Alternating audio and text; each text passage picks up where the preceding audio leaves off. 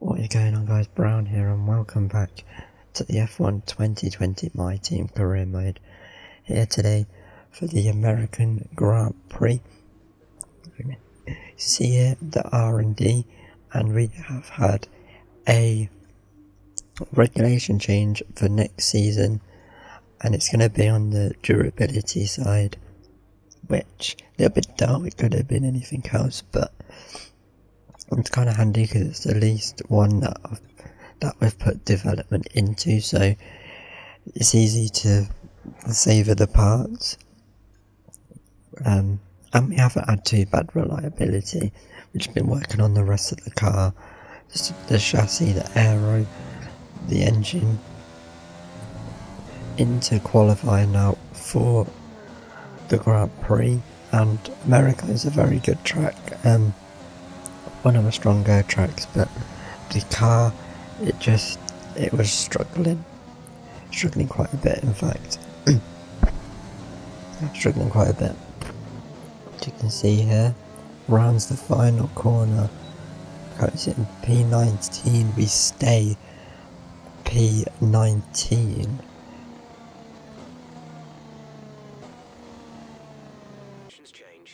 But as we skip on to the final part of the session, you can see here we have one more, um, one more soft tyre available to us, fresh soft tyres. But when we go back out on track, there is rain in the air. But the lap was so bad that we've managed to find a bit of time in the first two sectors, but the weather is so bad. It's not too bad, but struggling and you can see here that when we get to the end towards the end of the lap the there's just no grip we're skating everywhere and we can't really push because we're probably putting in the barrier so whereas we've had two personal best sectors it's not gonna be any good because of the rain bit annoying. So we are going to get knocked out in Q1 couldn't improve pretty much for that final sector so we will start the race in 19th place let's get into it Welcome once again then to the United States Grand Prix here in the magnificent city of Austin. It was here in 2018 that Kimi Raikkonen delighted the world by winning for the first time in 114 races. There's always a record to be broken, so what I wonder is in store for us today. We're racing today then in Travis County, Texas, around the 20 corners of the wonderful Circuit of the Americas. We'll be reaching speeds of around 200 miles an hour, and there are plenty of good opportunities to pass, especially through the two DRS zones into turn 1 and the very long back straight into turn 12. With me today, of course, is Anthony Davidson. Let's begin by talking about Antonio Giovinazzi. As ever, the threat of unreliability is far away, and indeed they'll be starting out of position today due to a power unit component change. So it's going to be a difficult task to move forward from there. Everyone has to deal with penalties or reliability issues from time to time throughout their career. You just have to suck up the pain and get on with the job at hand. Today isn't about performing a miracle to put the car back where it should be, it's about effective damage limitation. Off the back of a fantastic qualifying session, it's time to see how our starting grid looks for today's race. Good job yesterday from Valtteri Bottas. The fence starts from pole position, and Lewis Hamilton completes the front row. Considering the rest of the grid, we have Leclerc, Vettel, Sergio Perez, and Ricciardo, Stroll, Sainz, Norris, and Pierre Gasly, Verstappen, Grosjean, Alexander Albon, and Kvyat, Raikkonen, Magnussen, Esteban Ocon, and Brown. Giovinazzi, they've taken a grid penalty. Russell, Ireland, and Nicholas Latifi. And now it's time to head down to the track. Wow, we've been promoted one position up to P18 because of Giovinazzi taking a grid place penalty. In the in the race, there is a chance for rain right at the end. We're going to start on the mediums and let's see what we can do into turn one. It's lights out and away we go and we have got a good start. We've turned the overtake button off Magnussen trying to squeeze us right to the inside and we're gonna absolutely dive bomb it all the way down the inside the turn one. Slight contact, and now we're side by side with Lando Norris, Carlos Sainz, rather, and skipping on around the rest of the lap. Sainz is gone, and we're now coming under pressure from Kevin Magnussen. Tried to do the switch back on him, that was not going to work.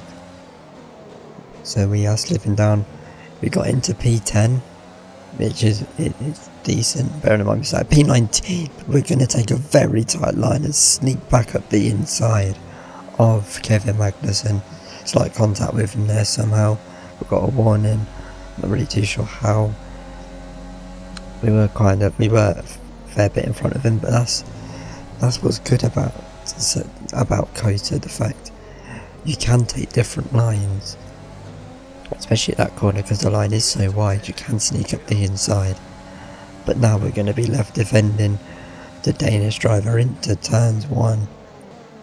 We're going to try and push him wide, and we do, and he's going to have to wait for another lap. Right, we have a very worn out MGU-K. Our battery charge speed is suffering, and if it gets much worse, we could be forced to retire. Well, that's good to hear, Jeff. That's why we're struggling so much. But look at that there, it's on 57%. It's not even that bad. Jeff is making out that it's on like 70 80%. It's not that bad as Magnussen goes down our inside and we make a massive mistake. And nearly going to gravel, we've gone that wide, and now we're coming under pressure from Alex Albon and the Thai driver with in real life his future uncertain. At Red Bull, we've gone wide again, and now up the ins around the outside tries. Albon, we've got. I'm not.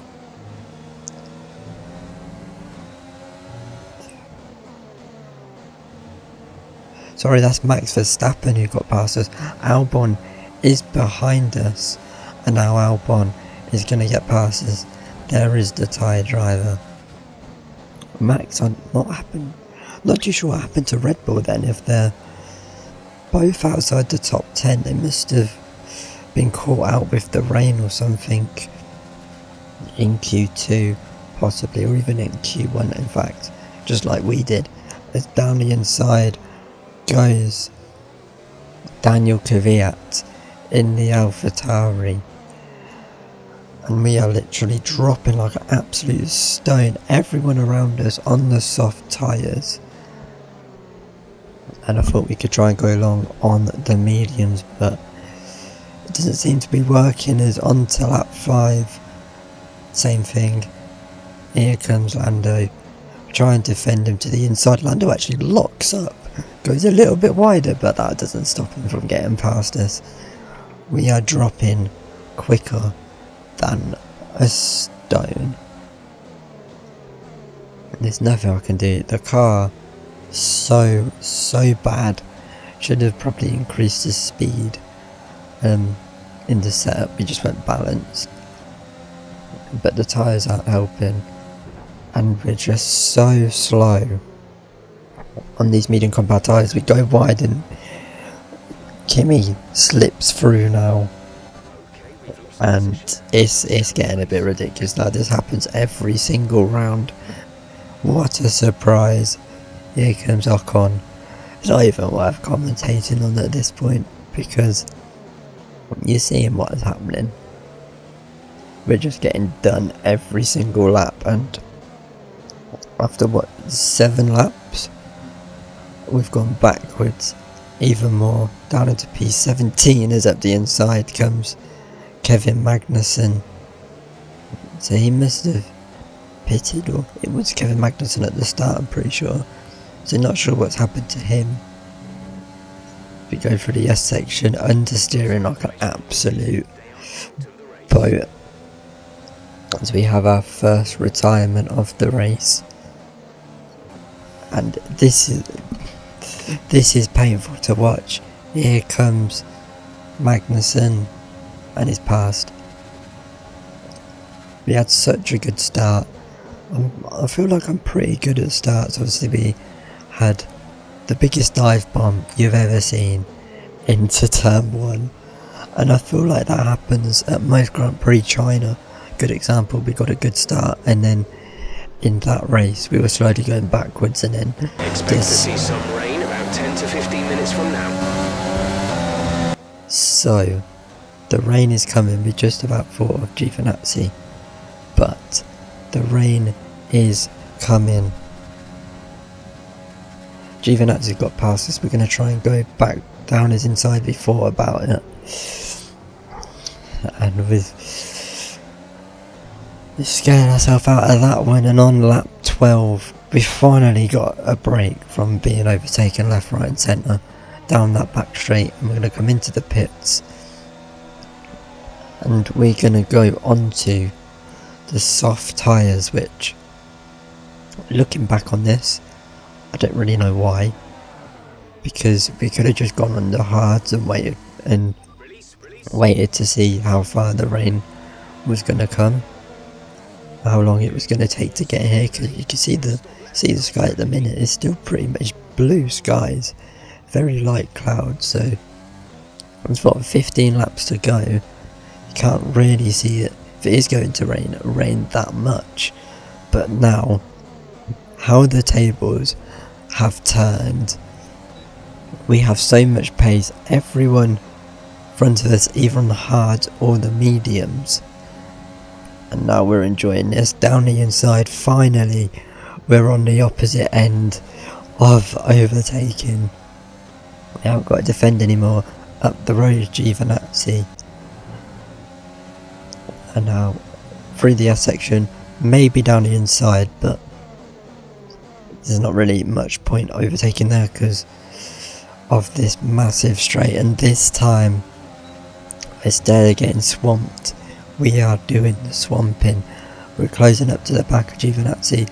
We're going to go down to the inside. We're going to swap Giovinazzi the absolute dummy, wait for him to go wide, try and sneak up the inside, and then do it again into the next corner.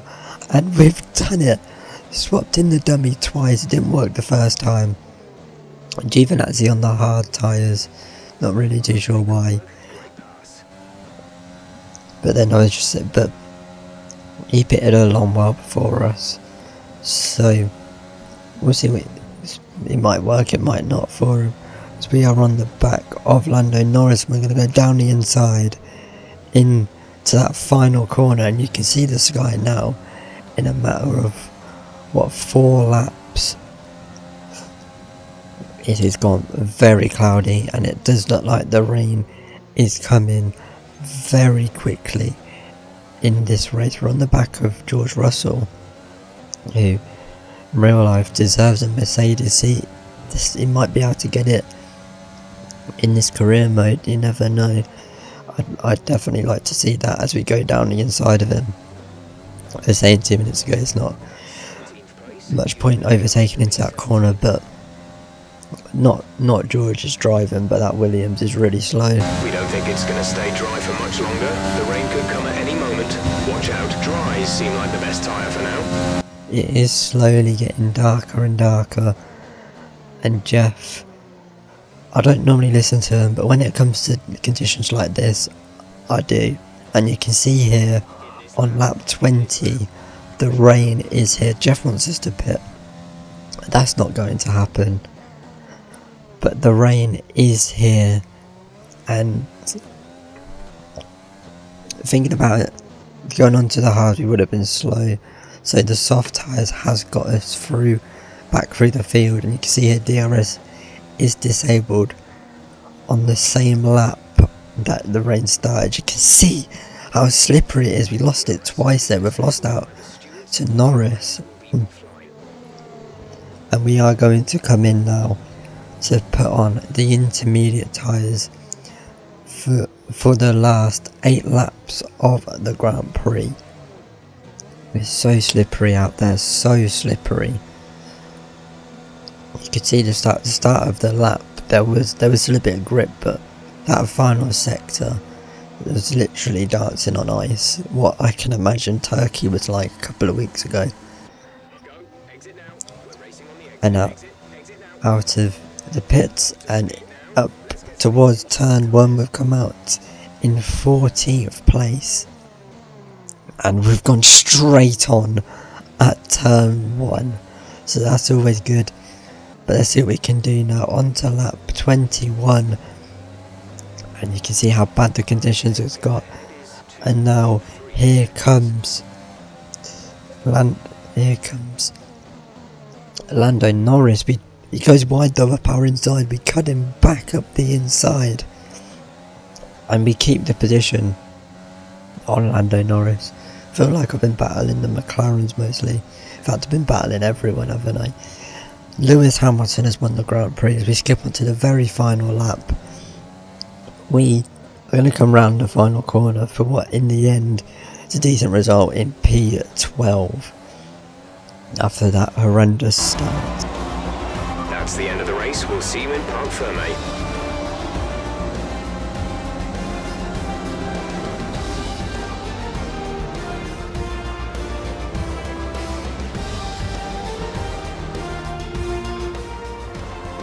Not just victory today then, but the championship as well.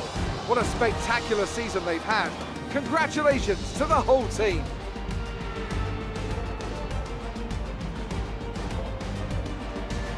And talk to me. What do you think it was that sealed the win for them? I think that smart tyre management on track and very smooth driving definitely assisted in their victory today. That combination meant they got the absolute maximum out of their tyres at all times. So after a magnificent race, we can now see the drivers making their way to the podium. Once again, it's the Silver Arrows who take top spot, a well-earned victory for Mercedes.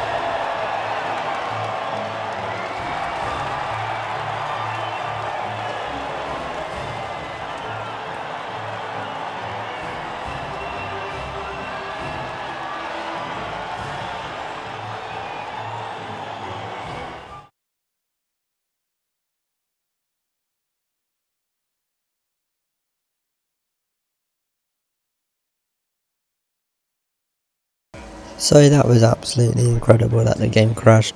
So let's see what we can do then at the start of this race. Look how sunny it is.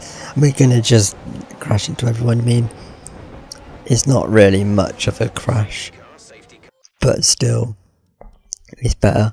We didn't get any points, so I'm not gonna do the race again. So I just just crashed at the start, retired. Luckily, Lewis still won the Grand Prix, so it so the result pretty much stays as it was before.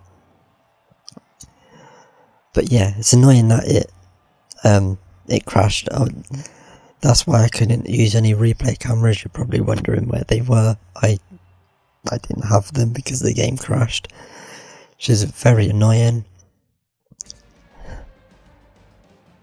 But Lewis Hamilton has won the Grand Prix from Valtteri Bottas and Sebastian Vettel we obviously finished last, but let's just say we finished 12th. Uh, and into the constructors then, into the drivers, it is heating up. Valtteri Bottas can win the title next time out in Mexico. Yes, you did hear me right. Bottas hasn't bottled the championship this time.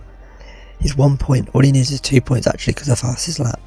He gets all he needs is a ninth place finish without Lewis scoring. The, the title can be wrapped up next time in Mexico. Lewis Hamilton being beat to his seventh world title. It's going to be a miracle for Lewis to win it now. He's going to have to win every single race left. Into the R&D, we haven't really got many points to play with because I just because of our weekend, you can see where everything, where where we are and everything. It's been a while since I've showed this. Since probably the very first episode of the career mode, so 19 episodes ago. And I've really been, I've really been working on the aero side because that's where I think we're really weak. The chassis is bad, but I think you can live without with a bad chassis. It's the aero that we really going that I really want to work on. We're gonna save the other part, and then you can see we're still at second bottom in the in the R and D. We are fairly close to Haas in front of us. And you can see how much money we got as I mentioned in the last video. I'm not really wanting to spend much money because I want to get a good driver for next season, depending also on how Callum Ilott's doing as well. But that has been this episode. I hope you enjoyed it.